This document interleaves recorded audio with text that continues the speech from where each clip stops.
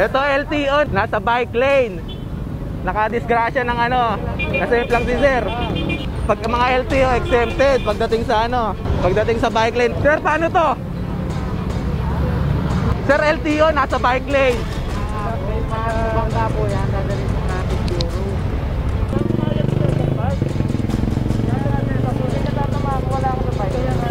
Nasa bike lane si Sir LTO. Bangga sila? Nabangga niya, y- nabangga ng ano, ng nakabike. Walang ticket pag ganyan, sir. Ang sabi ng nakabike sir, kaya tumama siya sa LTO kasi natumba siya. Kung wala yung ano doon, yung LTO na nasa bike lane, so hindi mangyayari yung ano. Ano sir, paano exempted, hindi titikitan? Kung wala yung LTO sa bike lane, hindi mangyayari yun. Balik kasi nasa ano po, natumba. Sir, kami nakakita. Kasi kami, pag na, ano, pag nandun kami sa bike lane, syempre, huliin nyo kami, nakita nyo kami, di ba? Pero pag silang mga LTO, o kayong. Nasa ano? mo, eh. Alam mo sir, Exempted yung kayo. mo, sir, Pa-traffic lang kayo sir. Oo, sir. Pare, isa mo yung plaga niya. Makakausap po natin si Mr. Lester Tolosa. Isa po siya concerned citizen. Na-witness siya po yung pangyari kung saan nagkaroon po ng banggaan pagitan ng isa pong taga-LTO at isa pong biker sa bike lane. Mr. Lester, Apo, Sir Lapi. Okay. Magandang umaga po. ano po yung eksaktong na-witness niyo po na Ah, pangyari? ganito po. Apo, sir. Ah, ganito po kasi yun, sir. Ah, dito sa C5, tapat po ng Miriam College. Opo, Stoplight po yung time na yun, sir. opo. Ah, siya lang po yung bukod tanging motor na nandun po sa ano, sa bike lane. Okay. Eh, yung magi-green light na po nung time na yon, biglang pasok po racer sana sa ano, sa mga tamang lane, sa wheels, four wheels po sa motor. Eh, biglang pasok din po yung sir nakabike yung bigla po na pangga ni nakabike si Sir LTO. Dahil po, nasa bike lane itong si taga-LTO Opo, sir. na dapat wala siya doon kasi pag Opo, sinabing bike sir. lane, pang bisikleta lang yon. Yes, sir. Okay. So, na-witness niyo po yung eksaktong banggaan. Anong sumunod nangyari after ng magbanggaan, sir? Ayun po, sir. Ah, pinabayaan lang po ni Sir LTO, hindi lang po hindi man lang po tinulungan. So hinabol po namin mga naka, mga nakakita, mga riders. So Okay. yung paipit na po si Sir ano LTO, yun doon na po kami nag doon na po ako nagsam, nagsimula mag-video. Okay. At meron pong dumating na mga traffic enforcer from the MMDA. Yes, sir. Opo. Okay. At yun nga po, kinakausap nyo na parang bakit exempted na ba yan? So, wala hong nag-imbestiga doon ng taga-MMDA at ah, hindi ho tinikitan itong motorsiklo dahil tama nga naman kayo, bike lane yun, dapat wala siya doon at kinailangan, eh, nobody's above the law, sana Yes, sir. matikitan siya doon. Opo, ayun nga po. Ano pong sabi ng mga taga-MMDA, ba't di po siya tinikitan? Ah, sabi ko po kasi ano, sir, ano, mm, hindi naman po kasi nila nakita yung pangyayari, eh, natumbalan daw po yung LTO, yung nakabike. Ah, tapos eh, hinayaan na lang po nila. Hindi nila nakita ang pangyari. Okay. It also Tapos- makes sense. Pero kayo po nakita nyo bilang witness, kayo po ang nagsasabing nasa bike lane siya. Opo, sir. Eh, imbis po na mapanggi, mapakinggan ng maayos yung side ko, sir, ah, nagalit po ang MMDA sa akin. Ah, gusto rin po sana nila ako tikitan for obstruction. Eh, ang ending po, sir, ah, hindi nila ako tinikitan. Pero kinuhanan po nila ng picture ng motor ko, plaka at lisensya. Okay. Pati na rin po yung unit. Tapos sabi po ng isang MMDA, ipapa-alarma daw po nila yung motor ko sa LTO. Eh, sana nga po, sir, tinikita na lang nila ako. At least pag natubos ko yung ticket, wala na akong problema. Pero para po ipalarma nila ako eh, at i-threaten po nila ako ng ganun, eh, wala na po akong kalaban-laban. Parang unfair naman po sa akin yun, sir. Agree po ako sa inyo, sir. Nasa linya telepono si Mr. Mario Castro. Ito yung nakabangga. Okay. Mr. Castro. Sir Mario. Hel- Hello po, sir. Apo. Sir, bakit nyo ginamit Apo. po yung bike lane? Eh, nakamotor kayo. Dapat hindi kayo sa bike lane. Ah, Sir Rafi, ganito po yung umpisa po niyan. Naka-stop po ako doon sa ah, Ateneo po. Apo. Stop, naka-stop po kami. Nung Okay. mangyari po yan. Okay. Kung naka-stop ka, May- bakit ka sa bike lane? Still, Wala dapat po. wala ka sa Nasa- bike lane. Nasa labas po ako, sir. Nasa labas ka ng bike lane. Opo. And then, Katapat ko po yung dalawang barrier, katapat ko. So wala ako dun sa loob.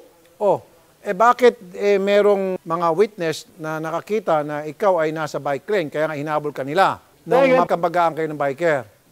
Yun to, yung natumba po na biker, ano po yan, may nauna pa pong sampo bago sa kanya, o anim o may, may Ang tanong ko lang sir, para mapaiksi tayo, Apo. nabangga mo ba itong biker o nagkabanggaan ba kayo ni biker? Yes or no lang? Hindi po, hindi po. Hindi kayo Natumba nagkabangga. po siya sa tapat ko. Natumba lang siya ng kusa. Opo, kasi po, bigla nagpreno yung harapan, yung sinusundan niya. Naalangan kasi naka-stop. Sir Lester, Sir, hindi naman po sana mangyayari yung ganito kung wala po siya sa bike lane. Hindi naman po sana mangyayari to, sir. oh, na-gets niyo po, sir, Ano po? Mr. Castro, Po?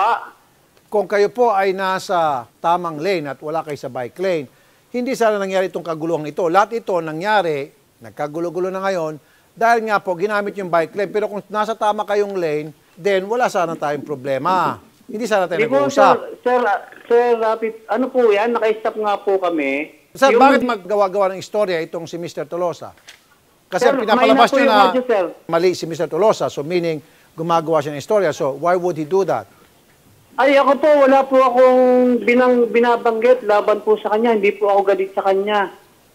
Okay. Ganito na lang guys, tawagin niyo MMDA. Kasi may pagbabanta. Okay. Sir Mario, dinideny niya po yung pangyari. Then karapatan niya po yung mag-deny. Alright? Kasi buti sana kung meron pong video. So, it's his word against his. At buti sana sir kung may CCTV sa lugar na yon. Sir, sorry sir ha. Mahina po yung kaso natin dito dahil karapatan niya po talaga mag-deny. Alright? Ito na lang pong gagawin natin. Doon na lang po sa pagbabanta against you. Mr. Regalado Berenguer, Junior Sector Head ng MMDA Central Traffic Enforcement District 2. Sir, Hello, sir. Good, uh, good morning po. Sir Regalado, pakisabi na lang po sa mga tauhan nyo na kasama dun sa Apo. video na wag na po magbanta o kung ano man meron sila sa ulo nila ngayon laban dito kay Lester Tolosa, wag na po ituloy. Yes, sir. Ako na po nag-agarantya. Nakausap ko na po sila. Wala naman pong pagbabanta. Siguro nag-saywar lang sila para lang mapase pa yung pangyayari. Ako na po na, uh, nag-agarantya sa inyo, sir, na walang pagbabanta. Okay, at hindi po i-alarma itong plate number ni uh, Mr. Tolosa. Wala po. Pinabura ko na po lahat, pati yung mga pictures na inano nila. Okay. All right, very good. Uh, Apo. Mr. Tolosa, satisfied na po. Po, Nagbigay na po ng guarantee yung mga supervisor ng mga Apo, tao nandoon, mga taga-MMDA. Opo, sir. Thank you po, thank you po. Ang goal ko lang din naman po dito, sir, ah, ma-raise po yung awareness. Eh. Sana naman po, eh, yung gantong pangyayari po, eh, wag na po maulit. Opo, tama po yan. Sir, I appreciate you being a concerned citizen. Kailangan na kailangan po ng bayan yung katulad ninyo. However, sir, kulang kasi ebidensya ninyo eh. Dinidinay po nitong kabila, eh, in the absence of video, pag kahit saan tayo makarating dito, mahirapan tayo, sir. Mahirapan natin madiin itong si ah, Mr. Castro.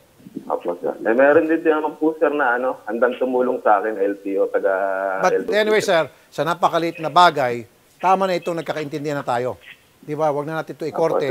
At least, nag-guarantee na po yung taga-MMDA na nothing will happen to you to- sa plate number mo, etc. Kailan din po kasi yung kinakatakot ko, sir, yung maalarma kasi apektado na rin po yung ano, trabaho. Yan po, nagbigay na po ng assurance. At kapag halimbawa sa dumating yung time na all of a sudden nakatanggap ka ng ticket ah, sa mail or ah, bigla ka na lang ah, pinara at walang dahilan, let us know agad-agad. Kaming bahala, okay?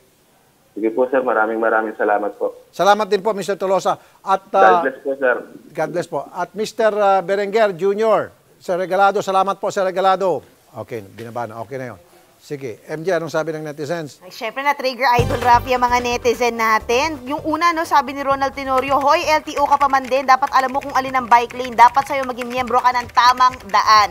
At eto pa idol Rafi, no, si Joff Lo Chu, sabi niya, ang hirap pag nasa tama ka, pero kampi ang mga enforcers sa mali. Pero eto, no, sabi ni Rod Avancenia, ang batas pang trapiko ay hindi lamang pang ordinaryong tao, may posisyon man o kung wala, kasalanan mo, dapat harapin mo. Yan ang sabi ng mga keyboard warrior natin, Idol Rafi. Back to you po, dyan sa studio. Salamat, MJ, foreign. Rapid iiwanan Basta nasa tama ka, ilalabang ka ng patayon Kahit na sariling reputasyon niya ang itaya Ipagtatanggol ka niya kahit siya ang mapahiya. Ang sarap kapag panatagsan man ng iyong tungtungan Dahil merong rapid tulpo ka na masusumbungan. Pag